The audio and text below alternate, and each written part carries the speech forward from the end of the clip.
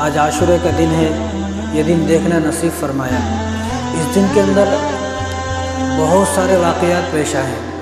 यानी हम सबको मरने के बाद जन्नत में जाना है। जाना नहीं इन सबको जन्नत में जाना है। दुआ भी करें जन्नत में जाने की।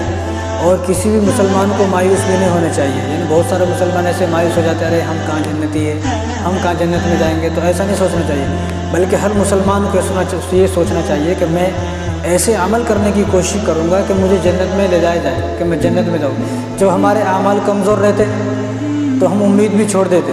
अब जिसके अमाल मज़बूत रहते, उसको भरोसा रहता कि अल्लाह ताला हमें जन्नत अता फरमाएँगे। तो अल्लाह तबारक व ताली ने उसी जन्नत को जो बनाया तो आज के दिन बनाया और ये हमारी खुशनसीबी की बात है कि दस मुहर्रम, जिस दिन हज़रत इमाम हुसैन रज़ी तु शहीद हुए, वो जुमे का दिन था और आज भी दस मुहर्रम है और जुमे का दिन है। क्योंकि जिलीज का जो महीना गया ना, पिछले वो उनतीस का था। लेकिन अल्लाह तबारक व ताली ने उसको एक दिन और बढ़ा दिया। उनतीस का नहीं बल्कि तीस को क्या चाँद नज़र नहीं आया? तो उसकी वजह से वरना दस तारीख कल हो जाती थी, आज ग्यारह होती थी। तो अल्लाह तबारक व ताली की हमत देखो, अल्लाह ताली का एहसान करम देखो हमारे ऊपर, कि अल्लाह ताली ने जो है दस मुहर्रम को जुमे के दिन। और हज़रत आदम सलाम को अल्लाह तबारक व ने जो पैदा फरमाया, वो आज ही के दिन पैदा फरमाया। आदम सलाम को दस मुहर्रम के दिन असर के बाद अल्लाह तबारक व को बनाया उनके अंदर रूह डाली, वो आज ही का दिन था। और इसी तरह जब हज़रत आदम सलाम जन्नत से नीचे उतारे गए तो वो भी दस मुहर्रम का दिन था।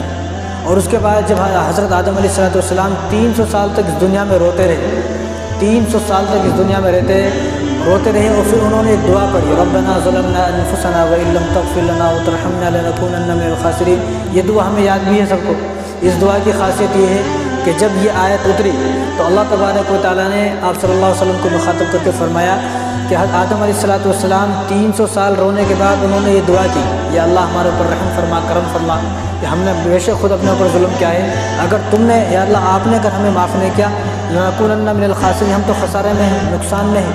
तो अल्लाह तबारक व ताली ने इस आयत को उतारा तो हुजूर को फरमाया कि आपका उम्मती जो भी इस आयत को एक मरतबा पड़ेगा तो जिस तरह आदम सलाम की ख़ता तीन सौ साल रोने के बाद माफ़ हो गई, इसी तरह हम में भी जो भी इस दुआ को एक मरतबा पड़ेगा तो अल्लाह तबारक व ताली सब गुनाहों को भी माफ़ फरमा देंगे। कितनी आसान दुआ है। रब्बना ज़लमना अनफुसना वम तफ़िलना वतरहमनकून मिनल सबको याद भी है। बस ये कि मालूम नहीं था, आज मालूम हो गया।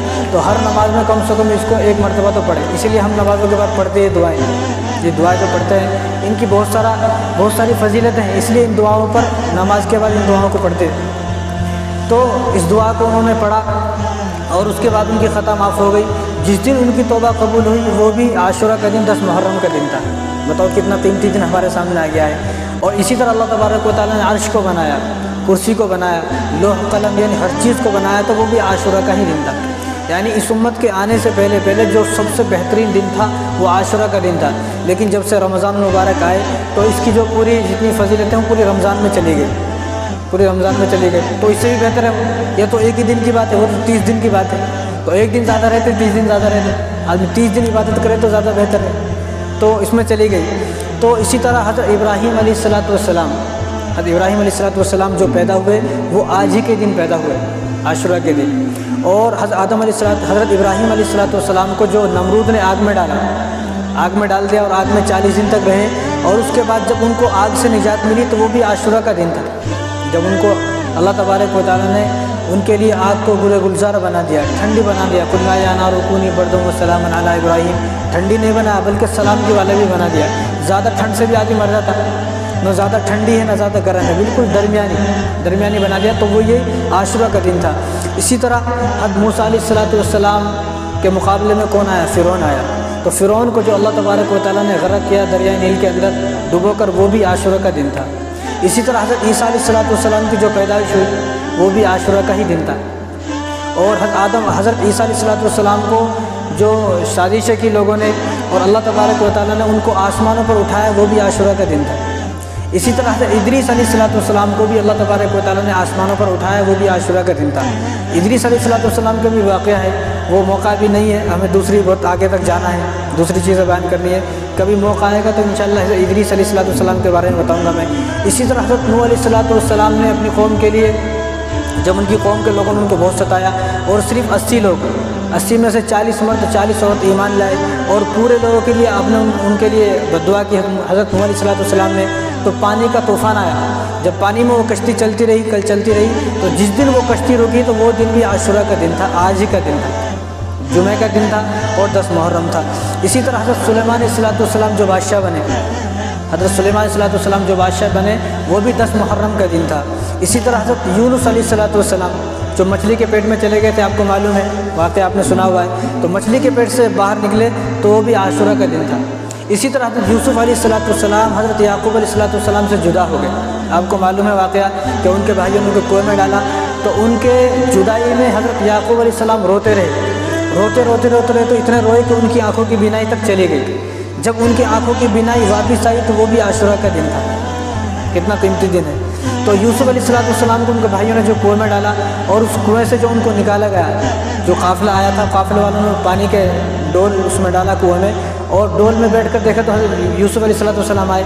तो जब यूसुफ सलाम कुएँ से बाहर निकले तो वो दिन भी आशुरा का दिन था।